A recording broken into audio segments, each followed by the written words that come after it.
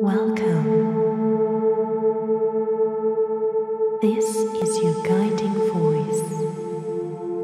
You are about to be taken on a journey, a journey to another place,